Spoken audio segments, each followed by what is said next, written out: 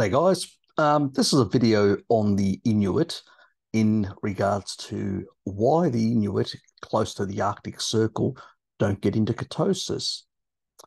Let me just share my screen first of all.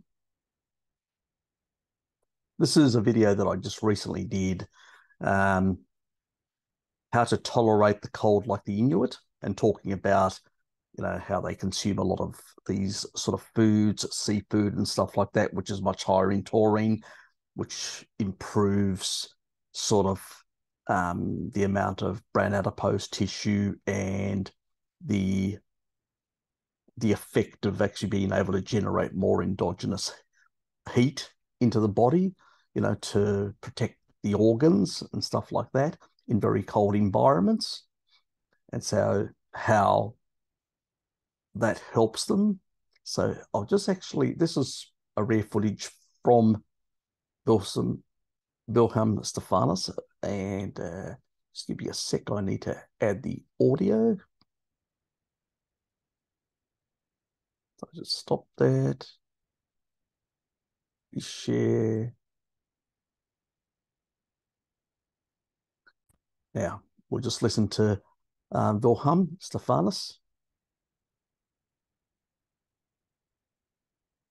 Stefansson. and I had to become a guest of the Eskimos, and for four and a half months, I lived on literally nothing but fish and water.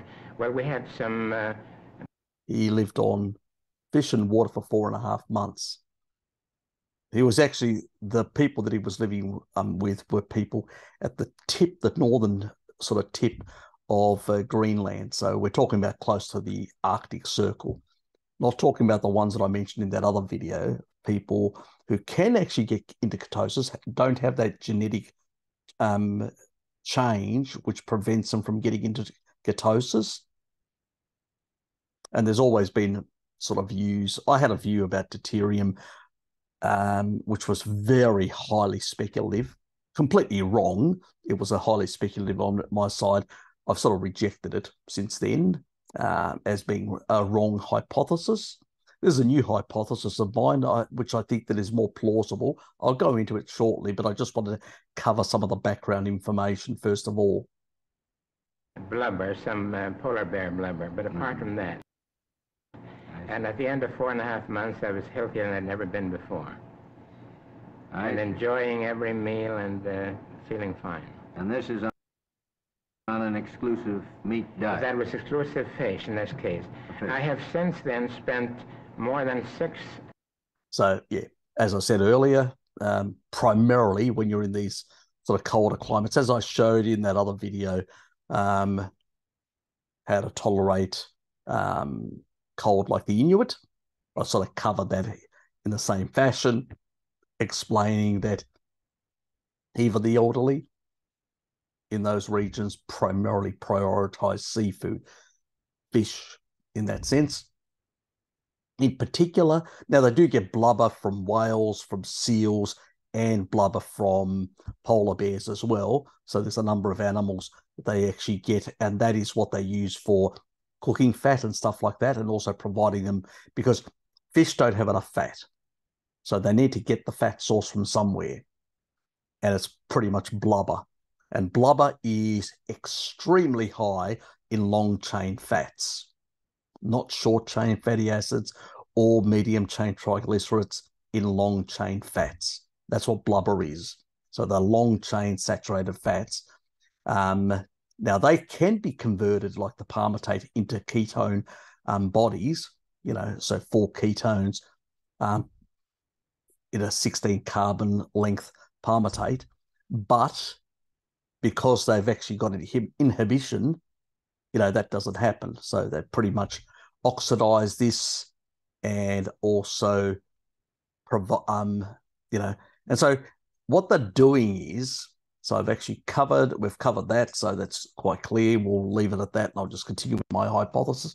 So what my hypothesis now is, which see, which I believe is more plausible, what is happening is this is an adaptation to an environment where you your access you you've you've got two priorities one to keep warm and the other to basically furnish enough energy without wasting away for your cells.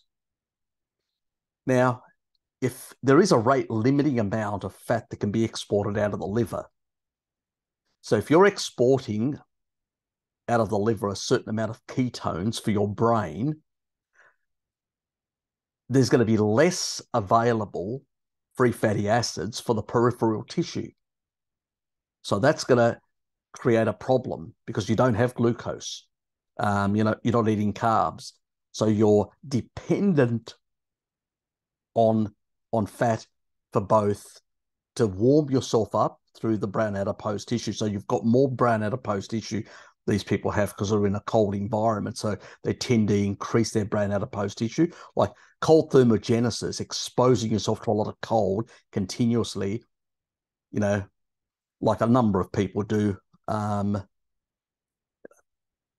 when they do, you know, cold thermogenesis, you know, all these sort of things, they put their body, they immerse their body in in the cold and all that. What they do is increase their brown adipose tissue.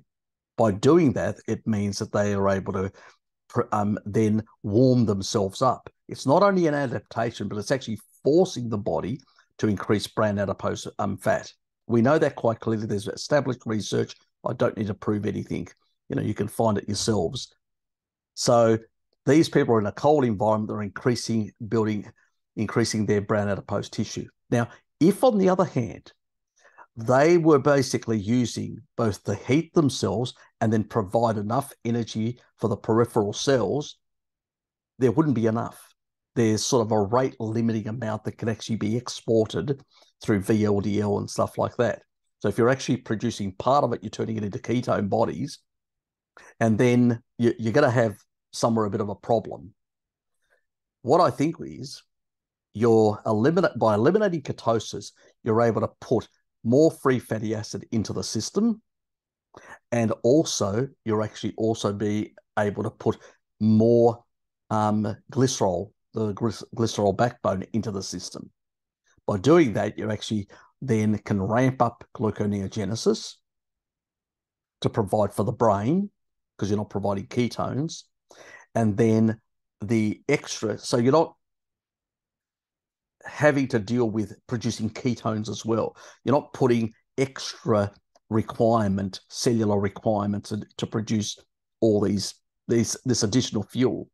So by, by providing, and also while ketones are a good fuel for the brain, also at the same time is if you're going to have a problem in a sense in terms of peripheral energy requirements as well. So you're trying to get more energy into the periphery to spare glucose for the brain. You're using ketones when you're in ketosis, but also these people need additional energy for heating their bodies. So what I think is happening is the body had to get, you know, it's a bit like, you know, the expensive tissue hypothesis. You know, something had to give a bigger brain, a smaller gut well, something had to give in terms of the energy requirement to keep warm and the energy requirement to maintain sufficient oxidative phosphorylation for the peripheral tissue.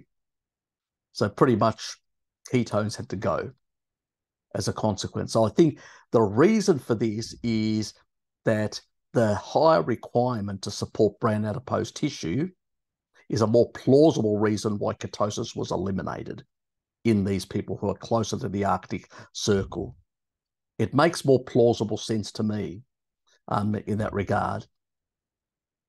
You know, I would hope that some scientists would take up the task and look into this and try and and try and actually do some research into this, take like precise measurements of these people to determine whether this hypothesis is valid or not. But it, for me, it makes a lot of sense that uh, by eliminating ketosis, then you're actually providing the body with far more larger quantity of free fatty acids to be able to support both the brown adipose tissue and the peripheral tissue in terms of energy requirements for the peripheral tissue and heating requirements via the, the um the BAT, um the brown adipose tissue, the brown fat, which is you know in, that, in this top area behind the organs. So that's my sort of thinking of what drove this genetic change in the Inuit um, to that are close to the Arctic, not all the Inuit, just the ones that are close to the Arctic, um, to downregulate the ability to go into ketosis.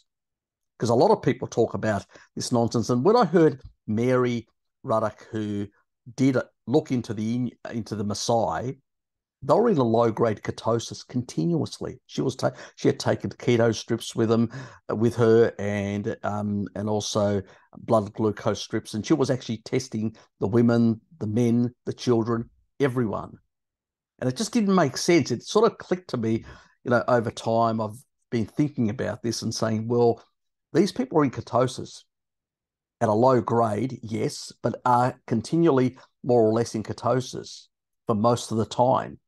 If it was that bad, you know, being continuously in ketosis, well, even in this low grade, well, why hasn't it been eliminated? You know, obviously, if you eat a lot of meat in one sitting, you can actually, you know, put the brakes on it and stuff like that. On the other, on the other, um, uh, on the other hand, you know, it doesn't make sense why one population would eliminate that and the other would not if it was a problem.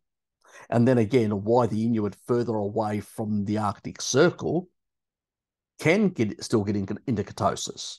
While they may have seasonal sugar and all that, um, uh, you know, from but some berries and stuff like that, in the end of the day, that's very little. Um, uh, you know, in terms of to in many cases to knock them out completely out of ketosis. So that doesn't make sense to me at all. And so it, I realized that there had to be something else.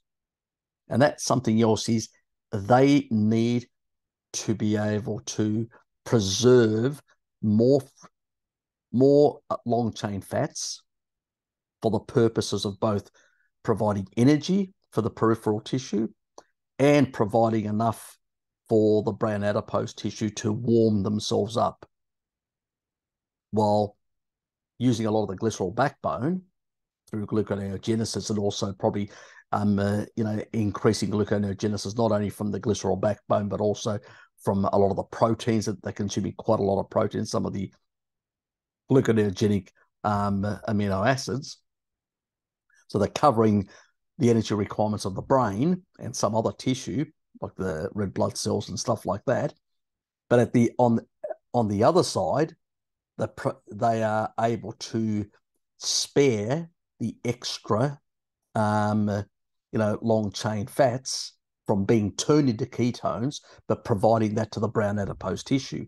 That makes more sense to me than any other theory that I've heard up to up to now. That's my theory. That's a hypothesis that I'm putting forward to the carnivore community and to many others. Um, you know, I say to people, challenge me, prove me wrong tell me why um, a different idea would be more plausible than the one that I've presented.